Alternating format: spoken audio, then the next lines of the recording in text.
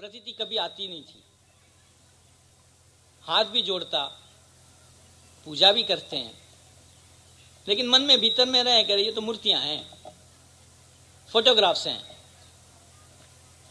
लेकिन स्वामी को जब देखूँ तो मन में भीतर में भावना आएगी।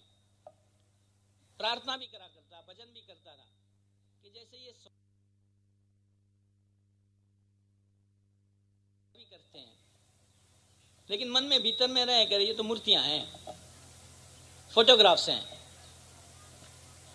लेकिन स्वामी को जब देखूँ तो मन में भीतर में ये रहा करे कि मेरे अंदर अब कैसा, कब ऐसी भावना आएगी? प्रार्थना भी करा करता, भजन भी करता था कि जैसे ये स्वामी, मानो साक्षात शास्त्री जी महाराज खड़े हैं या बैठे हैं, या भगवान की मूर्ति खड़ी है और बात करते हैं और देखते हो, ऐसे देखते हैं वैसे मैं कब देखने लग जाऊँगा पर हमें ये खाली एक मांगना ही होता है। देखो, आज मुझे काका जी ने ऐसे कहते हैं ना, चौराहे पे खड़ा कर दिया है कि वो चीज़ आज मेरे अंदर भीतर में अपने आप इन्होंने खड़ी करवा दी। कि जब भी मैं काका जी की मूर्ति का दर्शन करता हूँ या ऐसे संतों की मूर्ति का आप दर्शन करता हूँ तो मुझे डर जैसा भी लगता है कि मेरी बात वो सुनते हैं कि मैं अरे गेरे चीज़ इनके पास न मांगू। कर यहाँ जो ऐसी आज सबने बातें करी, तीन साल के अंदर ये काम हुआ, ये हुआ। काका जी कई बार बोला करते थे सारा काम मेरा वालिदा करता है। हमें भी कुछ ऐसा लगता था कि काका जी की एक मॉडेस्टी है, जो कभी कोई बात अपने ऊपर नहीं लेते हैं। लेकिन इन्होंने जिस ढंग से यहाँ सारा काम करा हुआ है, तीन साल के अंदर सभी ने बात एकदम ठीक से करी हुई है। यहाँ प्रवृत्ति बढ़ गई, लेकिन हमारे सेवक लोग बढ़े नहीं। शॉर्टेज ऑफ़ स्पेस हमेशा रहा करी। हमारी इतनी कैपेसिटी भी नहीं, लेकिन जब भी कोई काम हुआ है, एक परसेंट भी आयोटा ऑफ़ थिंकिंग नहीं रह सकता कि हमने कुछ करा और ये हुआ है। बस ऐसे ही लगे कि ये हो ही नहीं सकता था। हम लोग खाली लगे हुए हैं, लेकिन ये काका जी ने फट से कर दिया। ये विनम्रता से या मॉडेस्टी के कारण ये बात नहीं समझना, मैं एक समझाने की बात कर रहा हूँ कि ऐसी भी जब भावनाएँ उठती है, हम सिर्फ़ ऐसे पुरुषों के पास मांगे ही तो वो सारी चीज़ हमें दे देंगे। तो खूब सुनहरा मौका आया हुआ है। ऐसे जीवन मुक्तों का एक समाज तैयार हो रहा है। जो स्वामी जी कहते हैं आत्मीय समाज। आज ये जो नज़ारा है, वो आत्मीयता का नज़ारा है। तो हम ऐसे पुरुषों का ऐसी भावना से हमें और कुछ नहीं करना है। इनके पास हमें सिर्फ़ एक मांगा करना है। कभी न कभी तो सुनेगी, आवाज़ हमारी, वो एक भजन भी है। कभी तो भनक पड़ेगी कान पे। बस हम मांगते ही रहे, लेकिन सच्चाई से दिल की ऑनेस्टी से मांगते रहें कि हमारे हमारे स्वभाव हमें बदलने हैं। हमारे आप, हमें आपके ढंग से जीना है। हम जी नहीं पाते, लेकिन जीना है। तो वो कैसे जीना, किस ढंग से जीना, उसके सारी स्ट्रेटेजी वो सेटअप कर देंगे। तो स्वामी, अक्षय बिहारी स्वामी, साहेब अभी एक आधा घंटे के अंदर ज़रूर आ जाएँगे। पप्पा जी, काका जी, इन सबके चरणों में ये प्रार्थना है कि आप हम ऐसे मांगते रहें फिर मांग करके भूल ना जाए कि हमने मांगा हुआ है और आपने ये सारा सेटिंग करा हुआ है।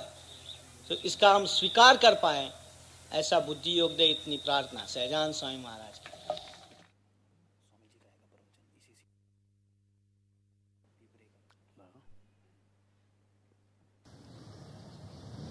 काका जी का एक संकल्प। शास्त्री महाराज ने नंदा जी को अक्षर विष्णु महाराज की मूर्ति दे के बोला काका जी ने यही बात कई दफे कहा था। नंदा जी जब होम मिनिस्टर था, नहीं नंदा जी जब महा मिनिस्टर था, उसी वक्त काका जी ने बोला था, जब नंदा जी बंबई था। तो शास्त्री जी महाराज ने नंदा जी का वही बंगले में एक अक्षर पुरुषोत्तम महाराज की मूर्ति दे के नंदा जी ने शास्त्री जी महाराज को बोला था कि लो ये मूर्ति, वो आपके साथ दिल्ली ले जाना। वही आशीर्वाद शास्त्री जी महाराज का, और शास्त्री जी महाराज ने उसी तरफ़ बोला था कि अक्षर महाराज दिल्ली में ज़रूर से बैठेंगे। काका जी ने वो संकल्प मूर्तिमान करने के लिए दिल्ली एक प्लेटफॉर्म बने। दिल्ली में एक सत्संग समाज का विकास हो जाए। इसलिए काका जी ने यही धरती पर बहुत ही परिश्रम उठाया। वो जानी साहेब और पकई साहेब, वो सब लोगों ने बहुत ही साथ भी दिया। गुरु जी एक निमित्त सेवक बना बना। बहुत आनंद हुआ। कृष्ण को कृष्ण अर्जुन को एक ही बोल रहा कृष्ण अर्जुन को एक ही बात बतला रहे थे, एक ही सारे गीता का एक ही सार, एक ही शब्द में एक ही संपूर्ण सार। कृष्ण एक ही शब्द का, गीता का संपूर्ण सार एक ही शब्द में निमित बन। हा सरल बन निमित बन। काका जी का एक संकल्प, काका जी का आदेश गुरु जी ने अच्छी तरह से झीला। एक गुरु जी एक पनोता पुत्र बना। आज मेरे को बहुत ही आनंद है। काका जी की वो अद्वितीय रसगन दिव्य मूर्ति, और मैसेज को व्यापक स्वरूप, सम स्वरूप और एकता वो भक्ति माँ का मैसेज को, कर्म ज्ञान भक्ति का मैसेज को व्यापक बनाने के लिए काका जी ने जो गुरु जी ने निमित्त बनाया वही काका जी का एक संकल्प आज गुरु जी ने जीला आप लोग खूब ही नसीबदार हो, खूब भाग्यशाली हो। एक पवित्र सन की गोद में आप बैठे हो। तो काका जी एक गुनातीत पुरुष गुरु जी के द्वारा आज दिल्ली की धरती पर जब काम कर रहे हैं तो ज़रूर से उसके साथ प्रीति अधिकतर बनाना चाहिए। काका जी ने यहाँ खूब परिश्रम उठाया, खूब परिश्रम उठाया। तो दिल्ली वालों का नसीब खुला। एक अद्भुत, अद्वितीय मंदिर यहाँ बना रहा है। एक पवित्र स्थान, जंगम तीर्थ और चेतन, स्थावर तीर्थ और चैतन्य, जंगम तीर्थ। दोनों का समन्वय काका जी का संकल्प का फल स्वरूप यहाँ मूर्ति मूर्तिमान हुआ। जंगम तीर्थ गुरु जी स्थावर तीर्थ और मंदिर दोनों काका जी का संकल्प से मुताबिक प्रभु ने यहाँ आपको भेज दिया है। तो मैं आप लोगों को यही बात बतला रहा हूँ। अर्जुन की जैसे काका जी के संकल्प मुताबिक पनोता पुत्र समान गुरु जी धरती पर ठहरे हुए हैं। उसके साथ ऐसी मैत्री प्रीति बढ़े।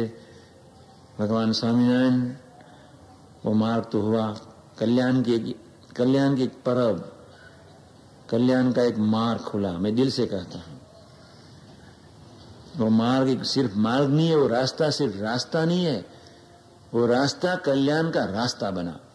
कल्याण का परम मार्ग बना। वो अद्वितीय दिव्य मार्ग बना वो प्रभु का संकल्प से कई आदमियाँ कई हर, कई हरिभक्तों कई समाज के व्यक्तियाँ गुरु जी का योग में सहज नेचर आएँगे। नेचर मालूम भी नहीं पड़ेगा। सहजता से दिल्ली का सत्संग खूब ज़्यादा बढ़ेगा, खूब ज़्यादा बढ़ेगा। वो कल्याण कल्याण का मार्ग खुला।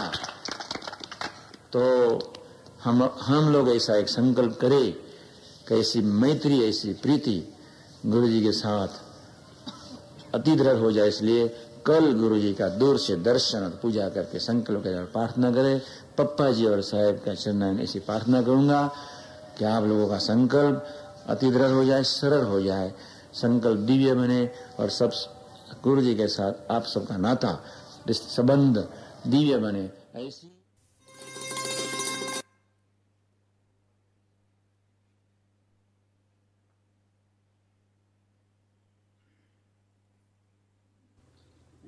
कौशल देश वेश बटुनो लय तीर्थ माही फरया, रामानंद मरा स्वधर्म चल यज्ञादि मोटा करया।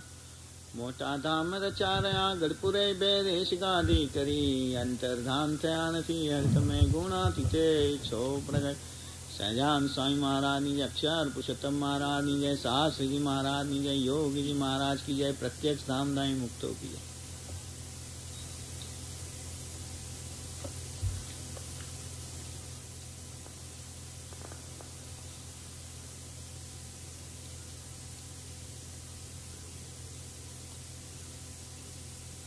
आज संडे की मीटिंग सत्संग की हमारी होती है। साथ साथ विकास की रिंग सेरेमनी। अंग्रेज़ी में एक कहावत है well begun is half done इससे भी आगे बढ़ के काका जी के पास से हमने कई बार सुना है, प्रारंभ वही पूर्ण होती। Your first step is the last step काका जी बोलते थे इनका मतलब ही यही था कि अगर पहला कदम सही उठाया है तो वही पूर्णा होती है। अब सवाल यह उठता है कि वेल बिगिन किसको बोला जाए? तो सरस, वेल का मतलब गुजराती में बोलते हैं सरस। अब तो आप लोग यहाँ रहते हुए, जैसे मैं भी हिंदी सीख गया थोड़ा बहुत तो गुजराती टूटी फूटी समझ जाते हो। सरस एक प्रभु है। बाकी कहीं भी सरसता भी दिखाई पड़ती है, वो उसी की देन है। हम खामू खा इतराते हैं। मेरे में ये है, वो है, फलाना है ढिमका है। वो सारा प्रभु का दिया हुआ है। तो वो सरस प्रभु को आगे रख करके जो भी कदम उठाया है, वो हमेशा पूर्णा होती ही है वहाँ। सरसता की सुगंध लगेगी उसके अंदर, फॉरम जिसको बोलते हैं। लेकिन ये एक आदत डालनी होती है। कोई भी काम करें प्रभु को आगे रख के करें। बड़ी मुश्किल चीज़ है।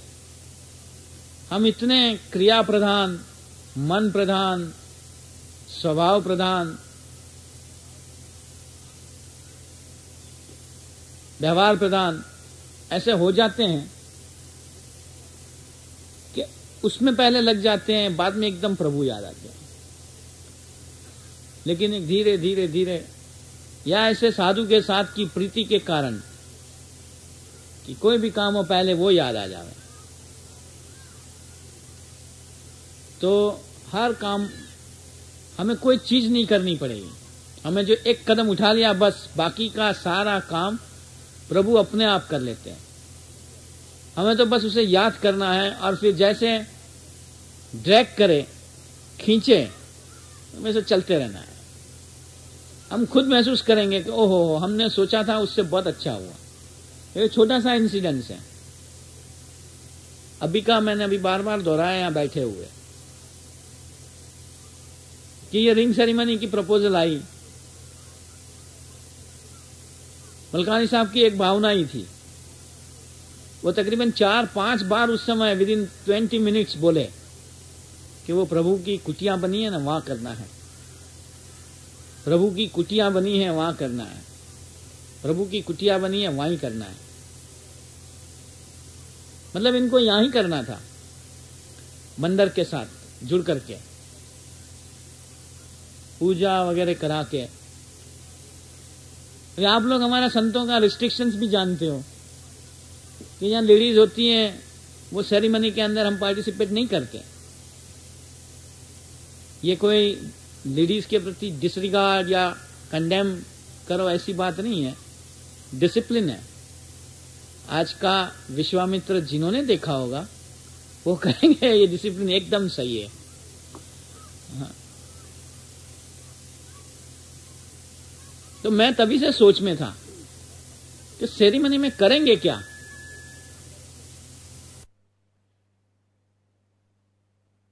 मानो रिंग सेरेमनी करनी है। फिर मैं कई चीज़ें बहुत सोच लेता हूँ, छोड़ देता हूँ। काका जी, जो कराना है, करा लेना तो इतने में अचानक मलकानी बोले, वशी को बुलाया? अभी आज वशी का बॉम्बे में प्रोग्राम है। कांति काका की आज पुण्यतिथि है। वहाँ सारा फ़ंक्शन हो रहा है। पप्पा जी, साहेब, स्वामी जी, सभी वहाँ विराजमान हैं। मैं वहाँ से वशी को कैसे बुलाऊं? एक बार तो मैंने मलकानी साहब को ना भी करी थी कि वहाँ फ़ंक्शन है, वो नहीं आ पाएगा। लेकिन फिर मुझे विचार आया कि हो सकता है इसमें से काका जी बोले और हम क्यों ऐसे कर लेते हैं? तो मैंने वशी को फ़ोन करा और कहा यह भी कह दिया उसे कि तू वहाँ किसी की सुनना नहीं, तू आ जाना। मुझे पता था कहीं कह देंगे कि भाई यहाँ फ़ंक्शन है, तू वहाँ कहाँ जा रहा है? लेकिन आज जब ये रिंग सेरेमनी हुई तो मैंने देखा कि ओहो काका जी ने हमें कैसी गाइड कर दी। कैसा सुझाव दे दिया? वशी नहीं आया होता तो ये सूखा सूखा लगता। हाँ? बड़ी डल सेरेमनी लग जाती वो। उसके बजाय पेरेंट्स उनके, खेमो सरकार, सब बड़े खुश हो गए। और उस खुशी में हमारी सबकी खुशी है।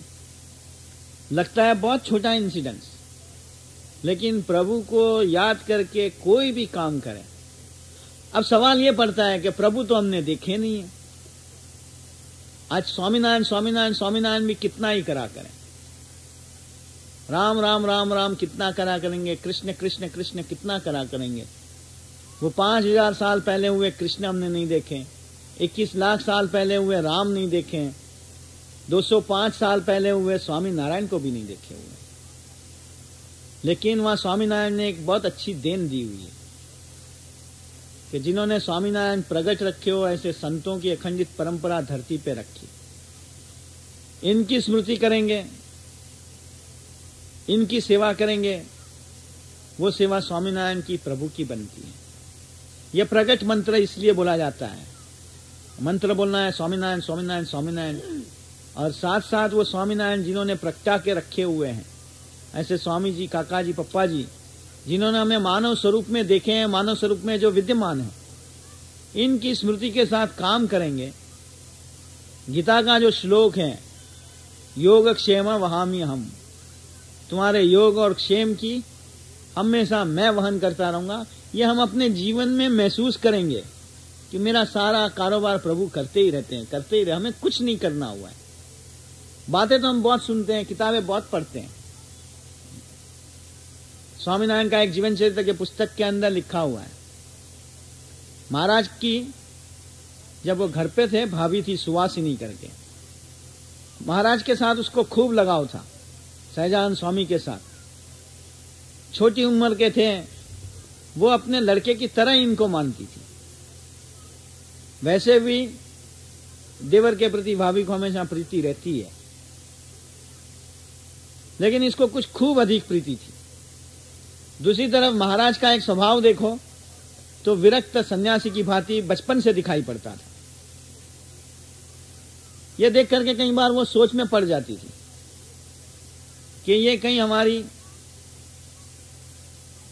ग्रह गृहस्थी छोड़ करके हमें छोड़ के चला तो नहीं जाएगा? एक दिन इन्होंने पूछा, घनश्याम, महाराज को उस समय घनश्याम कहते थे। आप हमें भूल के हमसे कहीं लापरवाह तो नहीं कर दोगे? हमारी तरफ़ लापरवाह तो नहीं रहोगे?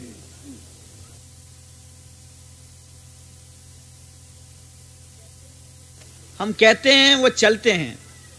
तो हमारे साथ जो वो रहते हैं, वो किस लिए रहते होंगे? हर पल हमारी रक्षा करने के लिए, हर पल हमें गाइड करने के लिए। मलकानी साहब के लिए इन सबने बात करी, एकदम सही है।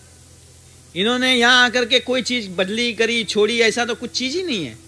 इनकी लाइफस्टाइल भी वही चल रही है।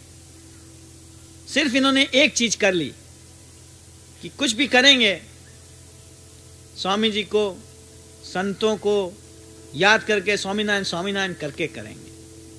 उस रास्ते पे हम सब भी चले, जिससे कि जैसे मंजूर साहब ने कहा, मुझे ईर्षा आती है। मंजूर साहब को अकेले को ईर्षा नहीं आती, मुझे भी आती है। कि जो चीज़ काका जी सारी ज़िंदगी भर हमें कहते रहे, भाई, संतों को याद करके हर एक काम करो, तुम मूर्ति भूल के क्यों काम करते हो? वो ये पल पल पल पल करते रहते हैं। हमारे लिए एक आदर्श बने हुए हैं। उसी रास्ते पे हम सभी चलते रहें। प्रभु, भगवान स्वामीनारायण, काका जी, पप्पा जी, योगी महाराज, शास्त्री महाराज, साहेब, अक्षय बिहारी स्वामी, सभी हमें ऐसी बल दें, ऐसी प्रेरणा दें यही प्रार्थना सहजान स्वामी महाराज की। चलो पांडे साहब।